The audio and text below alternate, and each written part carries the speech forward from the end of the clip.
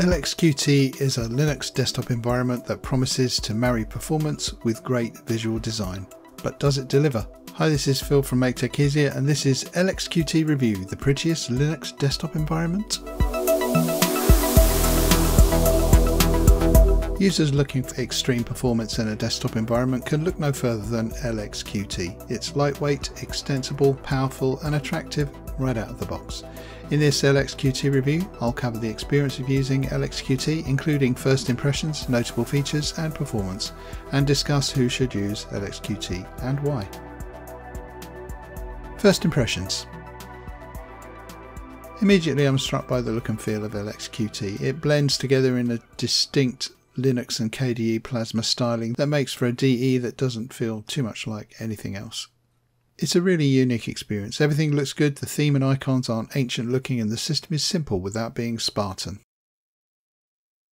User experience. LXQT is much the same as LXDE, as you may guess from the name. It follows a traditional desktop paradigm.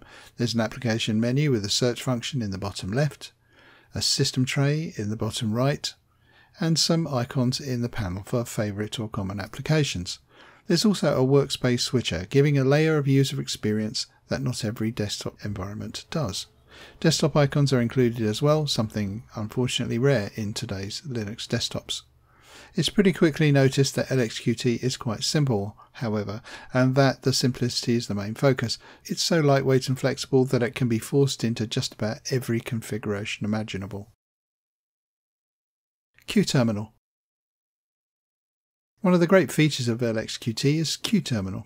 It was written for LXQT and it's one of the best terminals I've seen recently. Not because of any visual appeal, but because it supports tiling out of the box and is much more minimal than a tool like Tilix.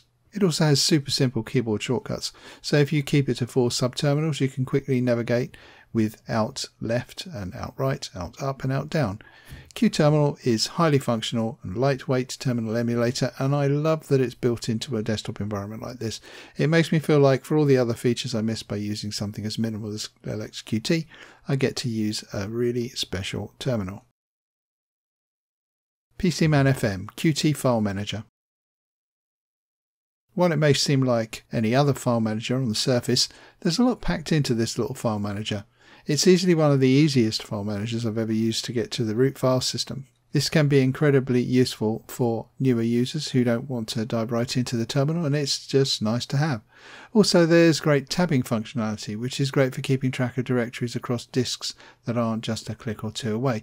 Overall for such a lightweight program it packs a big punch. Performance Performance on LXQT, just as on LXDE, is excellent. It's incredibly light on resources, using just 340 megabytes of RAM and less than 1% of CPU. However, more than just being light, it feels light. It's very responsive. When you click on an icon, the program just opens.